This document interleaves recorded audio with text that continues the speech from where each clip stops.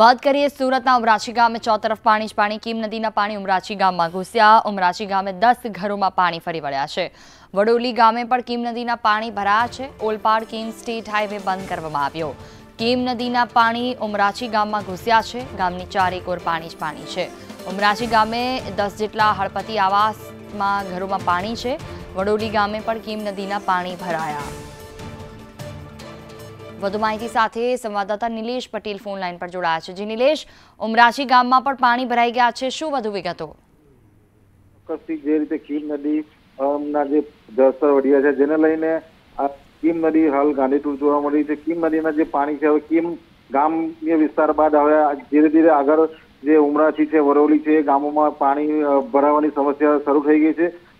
કીમથી જે કીમ સુરતથી જે કીમ માર્ગ છે કીમ માર્ગ પાણી ફરી આવ્યા છે. સાથે જે ઉમરાસી ગામ છે ઉમરાસી ગામે દસ જેટલા હડપટી આવાસમાં પાણી ભરાયા છે. હાલ હાલાકી હાલાકીનો સામનો સ્થાનિકો કરી રહ્યા છે.